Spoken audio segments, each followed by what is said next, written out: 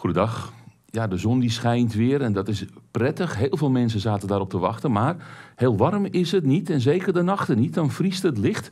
Vanochtend ook heel duidelijk de rijp te zien op de ramen. Op veel plaatsen moesten ook de autoruiten gekrapt worden. Maar overdag veel zon, een strak blauwe lucht, weinig bewolking en ook een stevige wind die het extra koud maakte. Want de temperatuur ligt in de middag rond de 10 graden. Door de oostenwind die hier staat voelt het echt een paar graden kouder aan.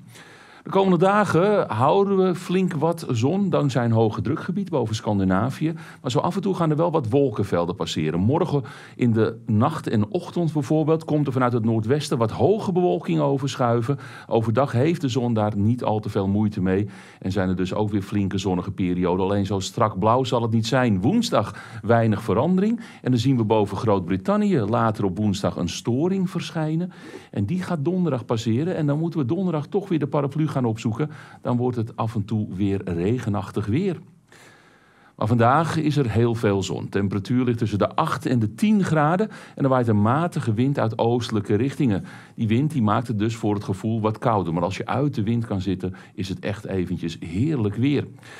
Komende avond en nacht zijn de brede opklaringen, maar komt ook die hoge bewolking binnenschuiven. Toch kan de temperatuur flink onderuit gaan. Het gaat in een groot deel van het land weer licht vriezen. Min 2 op de meeste plaatsen, misschien lokaal ook min 3.